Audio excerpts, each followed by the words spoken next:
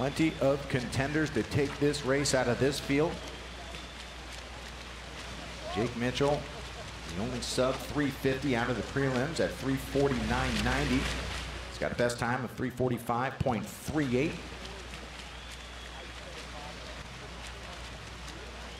Top ranked American, historically speaking, in this race is Kieran Smith out of lane five.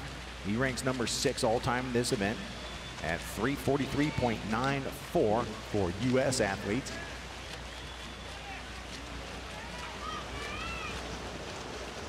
And it is Smith pushing the pace in the first 100 with a 53.94.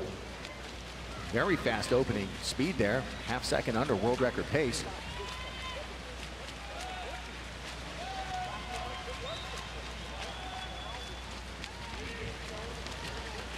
Second, you had David Johnston of Texas in lane six out in a 54.4. Then Jake Mitchell at 54-6 in lane four.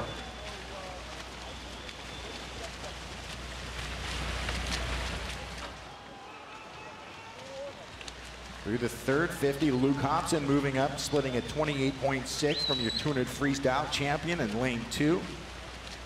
Smith at 28.5.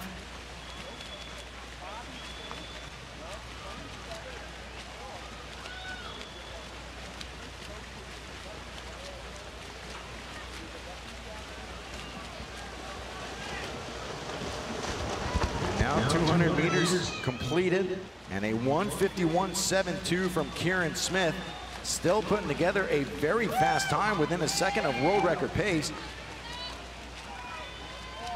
American record 342.78 from Larsen Jensen. That US Open record 343.53. Jensen was out in a 151.1 when he did that performance. Johnston of Texas in second, Luke Hobson of Texas third from lane two. As things starting to heat up now as we get into the final three lengths.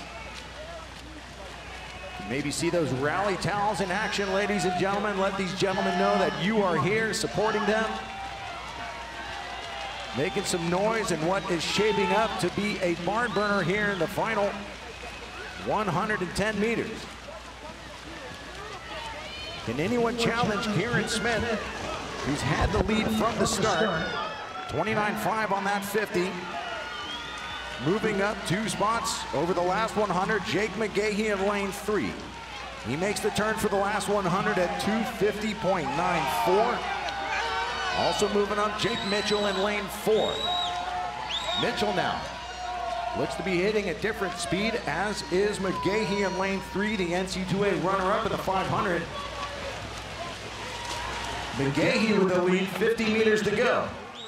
319.18, 28.2. Magahey, Mitchell, and Smith in the race to the finish.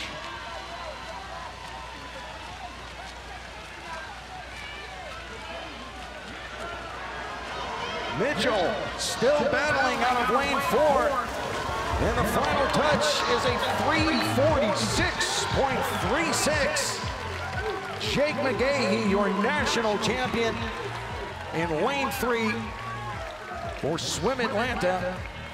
Jake Mitchell, 346.59 to take the silver, and Kieran Smith with a 348.48 is your bronze medalist.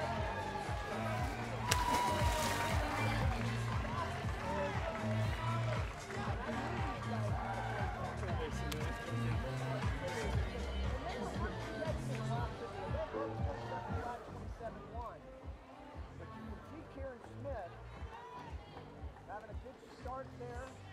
Mitchell in lane number four. Here's the last turn. This is where Magahey made his move. And that was a brilliant strategy from him. He knew these guys were going to chase him, but he had to get out in front and, and not only gain some momentum, but gain some confidence. And I think it really gave him confidence. I'm in the lead here, and I'm not going to give it up. And he didn't. And it was close. Mitchell closing on him. Running out of room.